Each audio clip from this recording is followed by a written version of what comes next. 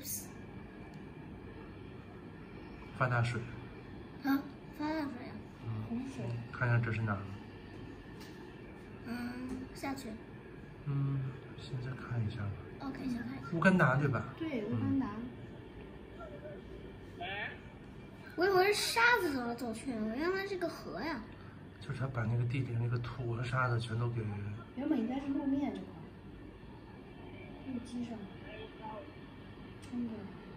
现在全世界很多地方都在出现极端天气，好像纽约昨天下雪了，哎是纽约吗？还是洛杉矶？我也忘了。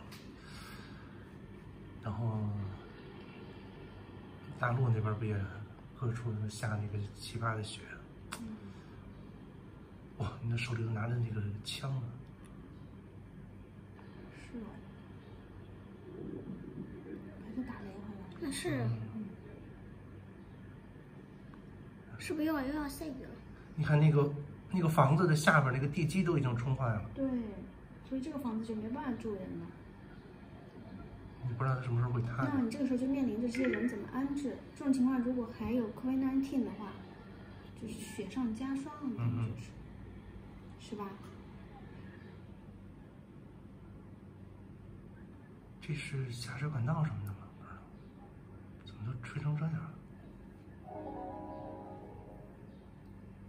哦，那个大水来了，是，看到前面那个水冲过来吗？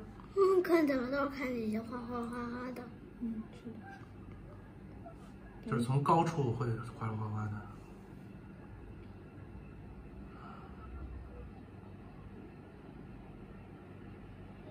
嗯，对，好多事情关键的是报道不报道。嗯，去年那个 杭州临安那个水大成那个样子，不也不报道，就很多人认为没有了。 This is Kalimbe in western Uganda. Flood and mudslide have blocked access to the hospital. The climate crisis is making the fight against COVID 19 harder and more scary than it already is. More than ever, we need to take climate action to be able to tackle other crises. 就是在这个乌干达的西部，这个应该小村落里边吧，就是洪水，然后呃泥流、泥石流，泥石流，对，把去医院的那个路给截断了，没办法去医院了。这种极端的天气，在现就是说使得现在本身就已经存在的这个 COVID-19 情况下，就变得更加的艰难。如果真的有不舒服，他们连医院都没法去，所以真的是。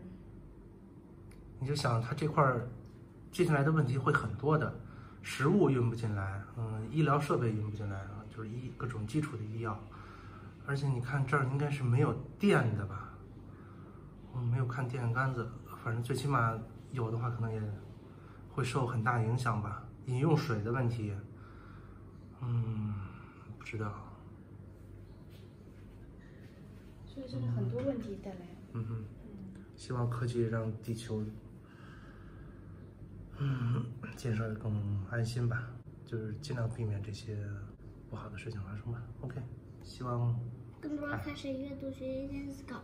每日驴已经已经开始开始 yes 嗯，希望全世界人都开始阅读、学习、兼思考。把世界建设的美好一些。